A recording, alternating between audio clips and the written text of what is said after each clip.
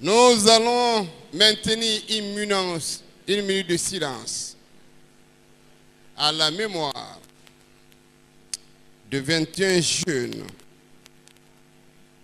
universitaires qui ont perdu la vie du côté de Sugeta. Pour le repos de leur âme, nous vous demandons une minute de silence. Je vous remercie.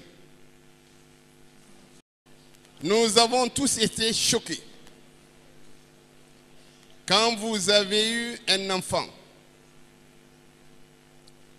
qui a fait le bac, qui est admis pour l'université et qui meurt dans ces conditions, c'est triste. Si vous ressentez rien, c'est parce que vous n'avez pas d'enfant.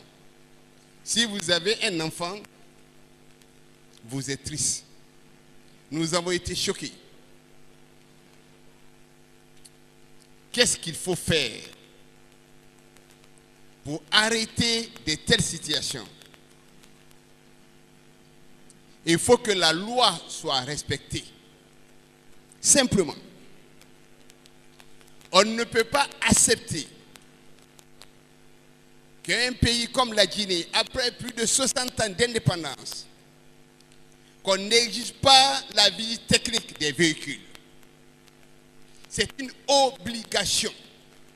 On doit faire la visite technique pour connaître l'état des véhicules avant de les mettre en circulation. Nous devons exiger que celui qui prend la direction d'un véhicule, le minimum qu'on demande, c'est d'avoir son permis de conduire. Il doit avoir son permis de conduire. Ça fait partie de la loi. On ne peut pas mettre un véhicule en circulation si la voiture n'est pas assurée. Mieux vaut prévenir que de guérir. Le syndicat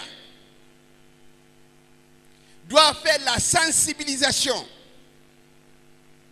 pour expliquer les dangers des accidents de la route.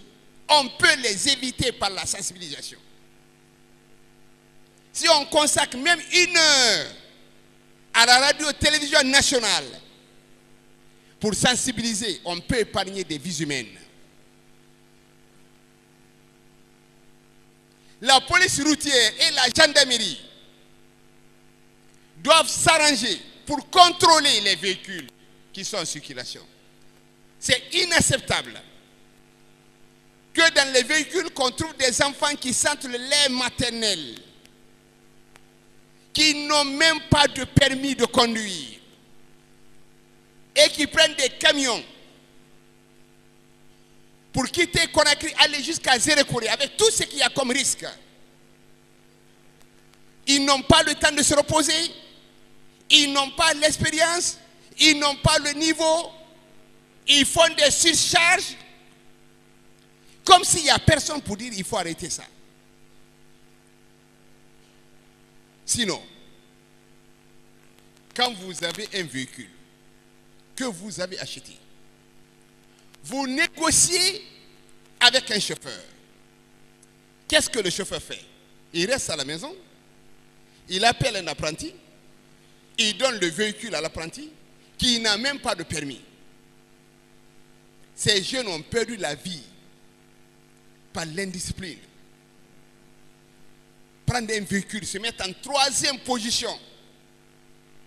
Les futurs cadres de ce pays, des enfants qui ont eu le bac, qui vont à l'université, qui dans cinq ans, les parents ont consacré tout sur leur formation et qu'ils meurent par la faute d'un inconscient qui décide de prendre un véhicule qui n'a pas de permis, qui quitte Conakry jusqu'à Sugeta. Personne ne l'a arrêté, personne ne l'a contrôlé, personne n'a cherché à savoir s'il a un permis. On ne peut pas accepter qu'un véhicule quitte ici si on ne regarde pas les pneumatiques. C'est ça l'avantage de la visite technique. Chaque fois que je pense à ça, je considère que c'est triste. Ce n'est pas la peine de continuer à pleurer. Il faut prévenir. Il faut que chacun joue son rôle. Il faut responsabiliser les gens. Quand vous voyez des véhicules de 50 ans en train de circuler, vous regardez la dimension des pneus, ce n'est même pas la même chose. Vous voyez en plein centre-ville, à Conakry, vous regardez à l'intérieur de ces camions, de ces citernes, vous voyez des enfants, des bébés qui sont derrière la direction, qui sont capables de monter là-dessus. Nous disons que ça, c'est inacceptable.